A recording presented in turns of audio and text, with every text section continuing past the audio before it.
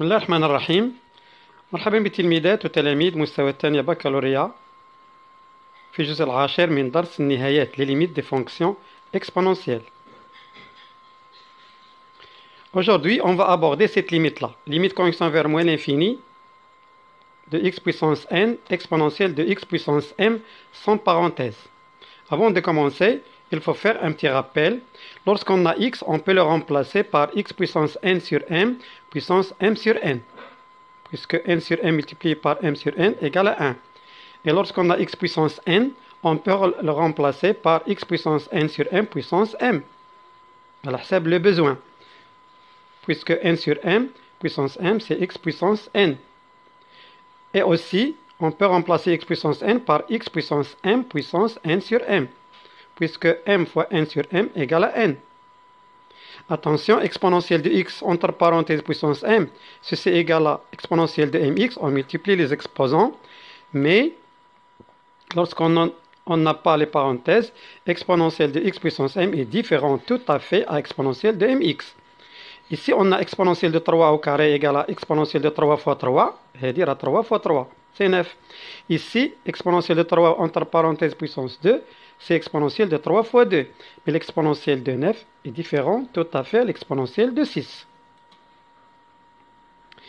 On va, on a dit, on va traiter cette limite, limite connexion vers moins l'infini de x puissance n, exponentielle de x puissance m, en utilisant 6 cas. Premier cas, quel que soit x un nombre réel, quel que soit m un nombre antinaturel non nul, quel que soit n un antinaturel non nul, m différent de n, m est pair, n est pair, puisqu'on a ici moins l'infini. Ça dépend de moins l'infini, lorsqu'on remplace x par moins l'infini, ça dépend de n, s'il est pair ou impair. On peut trouver plus l'infini, on peut trouver moins l'infini. C'est pour cela qu'on va traiter ces six cas-là.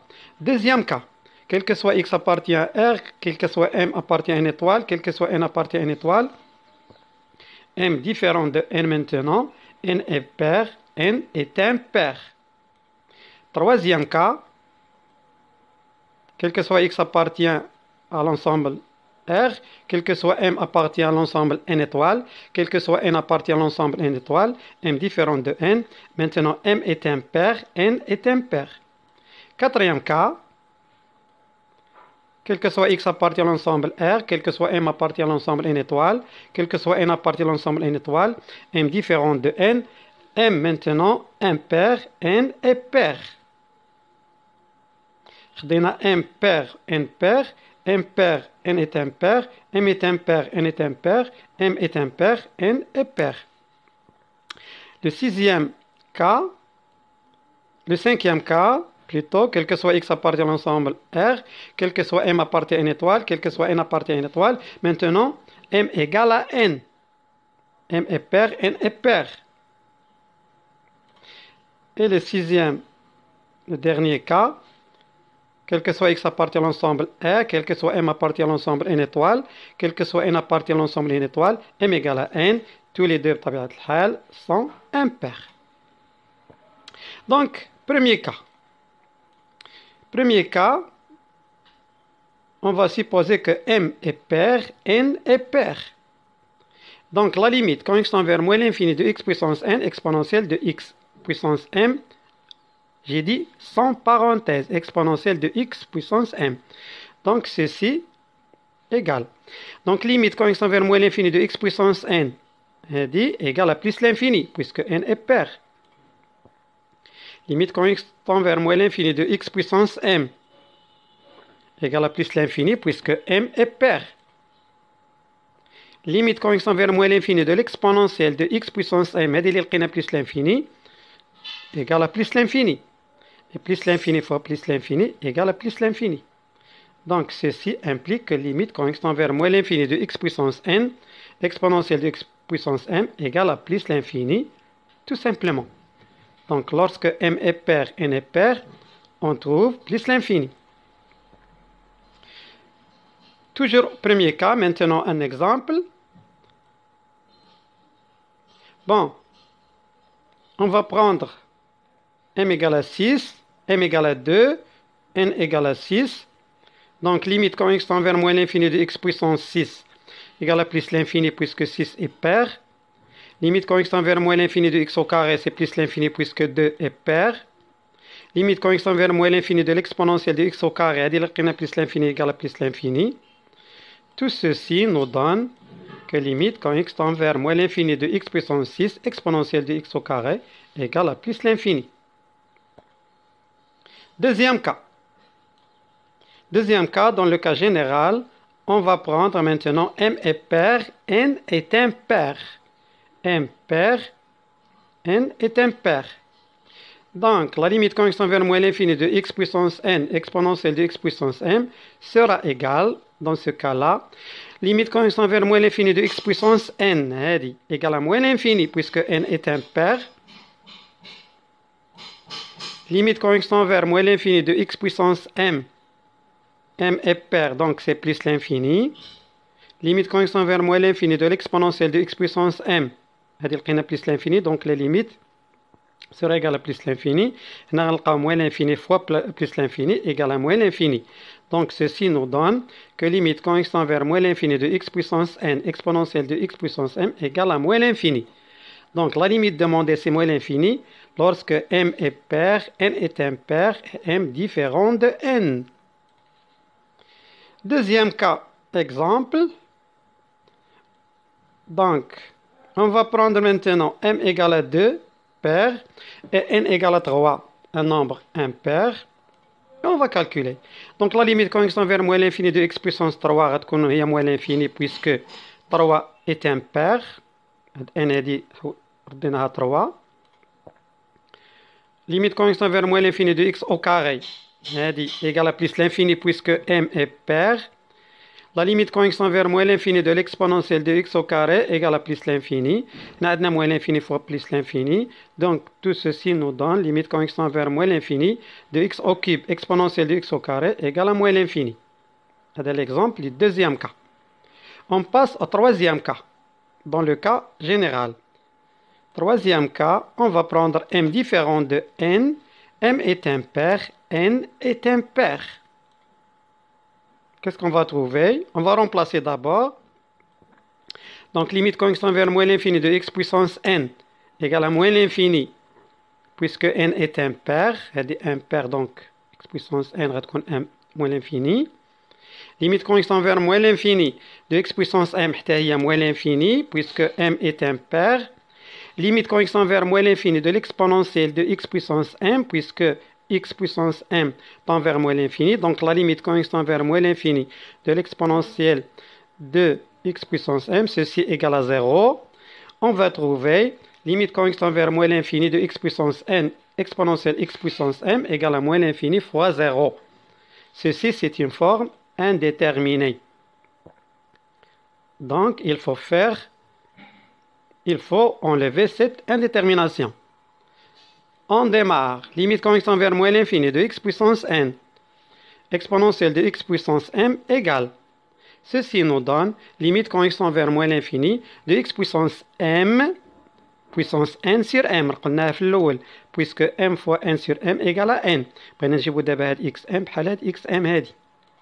Donc ceci nous donne limite quand x tend vers moins l'infini de x puissance m exponentielle d'abord هاد ان سور ام رديناها اكسبوزون انتر بارونتيز دونك هاد ليكسبوزون مع هذا غيعطينا هادي وهنا بطبيعه الحال غادي نديرو ام سور ان اكس بويسونس ام بويسكو ام سور ان فوا ان سور ام ايكال 1 اكس بويسونس ام Donc ceci nous donne limite quand x envers moins l'infini d'abord m sur n x puissance m, on multiplie x puissance m par m sur n et en même temps n sur m.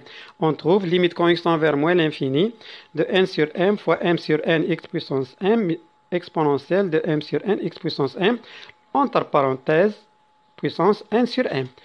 Ceci nous donne n sur m puissance n sur m خرجنا هذه لبرا à l'extérieur limite quand x tend vers moins l'infini de m sur n x puissance m exponentielle de m sur n x puissance m le tout puissance n sur m احنا لقينا الت هنايا ولقينا الت هنايا donc on va faire un changement de variable on pose t égale à m sur n x puissance m هذه puisque m est impair, si x tend vers moins l'infini, alors x puissance m est négatif. donc t tend vers moins l'infini. Donc, on va trouver limite quand x tend vers moins l'infini de x puissance n exponentielle de x puissance m égale à n sur m puissance n sur m, limite quand t tend vers moins l'infini de t exponentielle de t puissance n sur m. On a trouvé maintenant une limite usuelle, limite quand t tend vers moins l'infini de t exponentielle de t, ceci égale à 0. Donc, ceci nous donne n sur m puissance n sur m multiplié par 0 puissance n sur m. Et 0 fois tout ça égale à 0.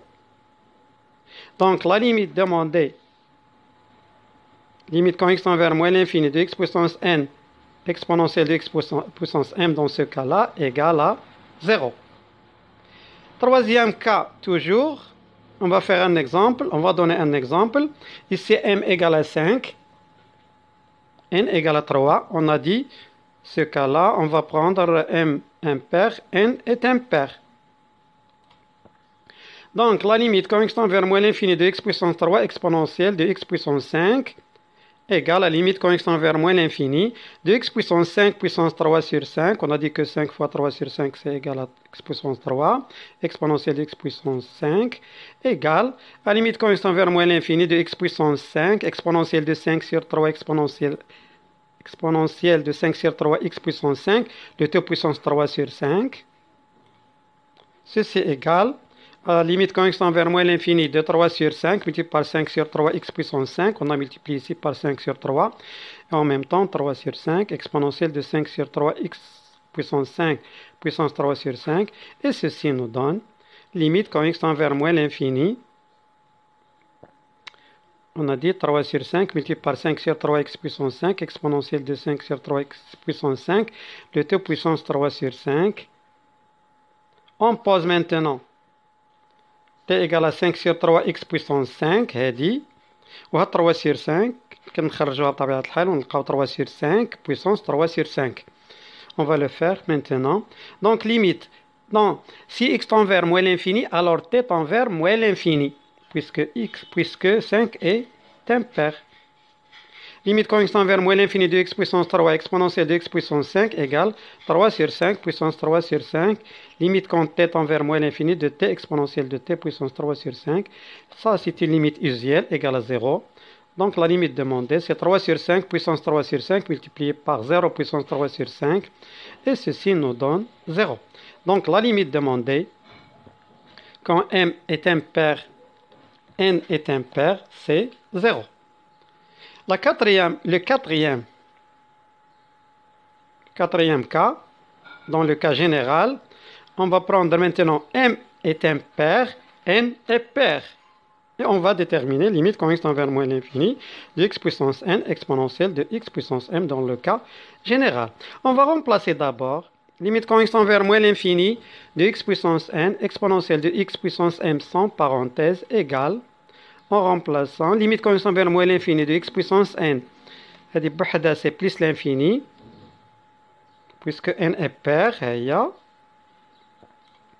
limite quand x tend vers moins l'infini de x puissance m égale à moins l'infini puisque m est impair donc limite tend vers moins l'infini de l'exponentielle de x puissance m est égale à 0 maintenant ceci nous donne que limite quand x vers moins l'infini de x puissance n exponentielle de x puissance m égale à plus l'infini fois 0. Et plus l'infini fois 0, c'est une forme aussi indéterminée. Donc, il faut enlever l'indétermination. Allez, on démarre. Limite quand x tend vers moins l'infini de x puissance n exponentielle de x puissance m égale à limite quand x tend vers moins l'infini de x puissance m le tout puissance n sur m exponentielle de x puissance m باش نجيبو هاد xm كما قلنا سابقا مع هاد xm ceci nous donne limite quand x tend vers moins l'infini de x puissance m exponentielle de m sur n x puissance m le tout puissance n sur m دابا الا بغينا نتحققوا n sur m الا درناها مع هاد البويسونس تعطينا هادي و n sur m مع m sur n x puissance m تعطينا هادي Et ceci nous donne limite quand x tend vers moins l'infini de n sur m D'abord, on a des m sur n x puissance m, donc on multiplie ici par m sur n, en même temps n sur m. On va trouver n sur m multiplié par m sur n, x puissance m, exponentielle de m sur n, x puissance m, le tout puissance n sur m. Et ceci nous donne à n sur m puissance n sur m dit limite connexion vers moins l'infini de m sur n x puissance m exponentielle de m sur n x puissance m le tout puissance n sur m. Et on va poser maintenant t égale à m sur n x puissance m. On pose donc t égale à m sur n x puissance m. Puisque m est impair aussi, si x tend vers moins l'infini, alors x puissance m est négatif. Donc t tend vers moins l'infini. Et on continue. Limite quand x tend vers moins l'infini de x puissance n exponentielle de x puissance m sera égale à n sur m puissance n sur m, limite quand t tend vers moins l'infini, on a changé la variable, de t exponentielle de t puissance n sur m, et on a trouvé, comme tout à l'heure, la limite usuelle qui nous donne 0. Donc la limite demandée égale à n sur m puissance n sur m multiplié par 0 puissance n sur m, et ceci nous donne aussi égal à 0. Donc, lorsque m est impair, dans ce cas-là, la limite quand x vers moins l'infini de x puissance n exponentielle de x puissance m égale à 0 aussi. Exemple, dans le quatrième, cas, on va prendre maintenant m égale à 5, un nombre impair, et n égale à 4, le nombre pair. Donc on va suivre la même procédure. Limite tend vers moins l'infini de x puissance 4 exponentielle de x puissance 5 égale limite tend vers moins l'infini de x puissance 5 puissance 4 sur 5 exponentielle de x puissance 5. Ceci égale limite tend vers moins l'infini de x puissance 5 exponentielle de 5 sur 4 x puissance 5 le tout puissance 4 sur 5 نعاود 4 sur 5 راه مع هذه غتعطيني هذه 4 sur 5 مع 5 sur 4 غتعطيني هذه غادي ونتحقق ضروري دونك سيسي نو دون ليميت كونكستون فير موان انفيني اون ايسي 5 sur 4 x puissance 5, on multiplie x puissance 5 par 5 sur 4 et en même temps par 4 sur 5 pour obtenir un changement de, de variable t égale à 5 sur 4 x puissance 5. Donc cette limite-là sera égale à 4 sur 5 puissance 4 sur 5, dit limite constant vers moins l'infini de 5 sur 4 x puissance 5, exponentielle de 5 sur 4 x puissance 5, entre parenthèses, puissance 4 sur 5. Changement de variable, on pose t égale à 5 sur 4 x puissance 5. Si x tend vers moins l'infini maintenant, alors t tend vers moins l'infini, puisqu'on a 5 impair. Donc la limite demandée sera égale à 4 sur 5 puissance 4 sur 5, limite quand t tend vers moins l'infini, de t exponentielle de t puissance 4 sur 5. Et on a trouvé, on a trouvé la limite usuelle qui nous donne 0. Donc ceci nous donne 4 sur 5 puissance 4 sur 5 multiplié par 0 puissance 4 sur 5.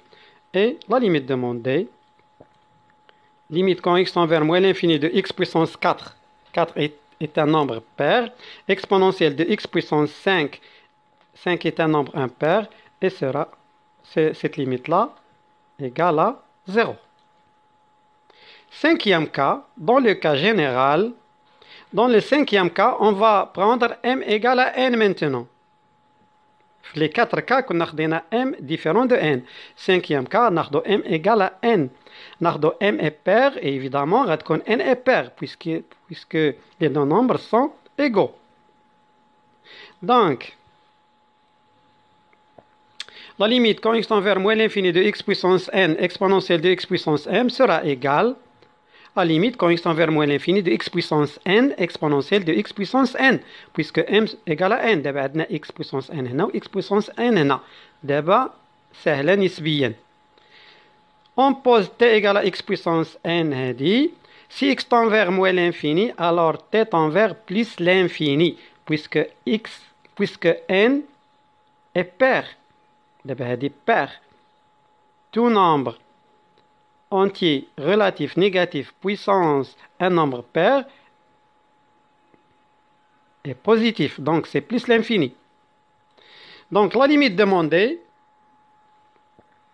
limite quand x tend vers moins l'infini de x puissance n exponentielle de x puissance m sera égale à la limite quand t tend vers plus l'infini, tout simplement, la variable, de t exponentielle de t égale à plus l'infini fois plus l'infini, et ceci nous donne à plus l'infini. D'abord, هذه t تعطينا plus l'infini, exponentielle de plus l'infini, plus l'infini, plus l'infini égale plus l'infini. Donc, dans le cas où m égale à n, m est pair, n est pair, la limite de x puissance n exponentielle de x puissance m égale à plus l'infini. Cinquième cas, exemple, on va prendre maintenant m égale à 8 et n égale à 8. Donc la, la limite demandée, limite quand x tend vers moins l'infini de x puissance 8 exponentielle de x puissance 8 sera égale euh, avant égal, on pose t égale à x puissance 8. Si x tend vers moins l'infini, alors t tend vers plus l'infini, puisque 8 est pair. Donc la limite demandée, limite quand x tend vers moins l'infini de x puissance 8, دابا n هذه عوضناها ب 8 و m 8 puisqu'ils sont égaux. Donc c'est c égale limite quand t tend plus l'infini de t exponentielle de t égale à plus l'infini fois plus l'infini égale à plus l'infini. C'est l'exemple le cinquième cas. Sixième cas, dans le cas général, on va prendre m égale à n. m est un pair maintenant, n est un pair. Limite convexe vers moins l'infini de x puissance n exponentielle de x puissance m sera égale aussi limite convexe vers moins l'infini. On va remplacer m par n ou bien n par m. Nous allons x puissance n ici, exponentielle de x puissance n ici. Ou bien x puissance m ou x puissance m, puisqu'ils sont tous les deux égaux. Donc, on pose t égale à x puissance n. Si x maintenant tend vers moins l'infini, alors t tend vers moins l'infini puisque n est un pair. Donc la limite demandée quand x tend vers moins l'infini de x puissance m exponentielle de x puissance m lorsque m égale à n, ceci nous donne à limite quand t tend vers moins l'infini de t exponentielle de t égale à 0. Donc lorsque, dans ce cas, sixième cas, lorsque m égale à n, m est impair, n est impair, on trouvera la limite usuelle, limite quand t tend vers moins l'infini de t exponentielle de t égale à 0. Sixième cas, exemple. m égale à n, m est impair, n est impair. On va prendre m égale à n égale à 9, donc la limite quand x tend vers moins l'infini de x puissance 9 exponentielle de x puissance 9, on va poser égale à x puissance 9. Si x tend vers moins l'infini, alors t tend vers moins l'infini, puisque 9 est impair. Donc la limite demandée, limite quand x tend vers moins l'infini de x puissance n, exponentielle de x puissance m, lorsque m égale à n, m est un pair, n est un pair, c'est-à-dire, on va prendre dans cet exemple-là, n égale à m égale à 9, égale à la limite quand t tend vers moins l'infini de t exponentielle de t, et ceci est une limite usuelle qui est égale à 0. En résumé, dans le récap, en résumé, on a trouvé dans le premier cas, quel que soit x appartient à R, quel que soit m appartient à n étoile, quel que soit n appartient à n étoile, lorsque m différent de n, m est pair, n est pair, on a trouvé que limite quand vers moins l'infini de x puissance n exponentielle de x puissance m égale à plus l'infini. On a démontré ça tout à l'heure. Deuxième cas, quel que soit x appartient à R, quel que soit m appartient à une étoile, quel que soit n appartient à une étoile, lorsqu'on a m différent de n, m pair, n est impair, on a trouvé que limite quand vers moins l'infini de x puissance n exponentielle de x puissance m égale à moins l'infini. Troisième cas, quel que soit x appartient à R, quel que soit m appartient à une étoile, quel que soit n appartient à une étoile, Si m est différent de n, m est impair, n est impair, on a trouvé tout à l'heure que limite quand x tend vers moins l'infini de x puissance n exponentielle de x puissance m égale à 0. Quatrième cas, quel que soit x appartient à R, quel que soit m appartient à une étoile, quel que soit n appartient à une étoile, si m est différent de n, m est impair, n est pair, on a trouvé que limite quand x tend vers moins l'infini de x puissance n exponentielle de x puissance m égale à 0. Cinquième cas, l'avant-dernier, quel que soit x appartient à R, quel que soit m appartient à une étoile, quel que soit n appartient à une étoile, maintenant m égale à n, tous les deux pairs puisqu'ils sont égaux, on a trouvé que limite, quand x tend vers moins l'infini de x puissance n exponentielle de x puissance m égale à plus l'infini. Et sixième cas, quel que soit x appartient à l'ensemble R, quel que soit m appartient à l'ensemble n étoile, quel que soit n appartient à l'ensemble n étoile, si m égale à n et tous les deux sont des nombres antinaturels impairs, alors la limite demandée quand x tend vers moins l'infini de x puissance n exponentielle de x puissance m égale à 0.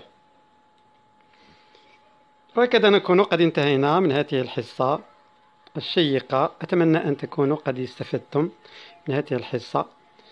شكرا انتباهكم وإلى لقاء آخر إن شاء الله تعالى.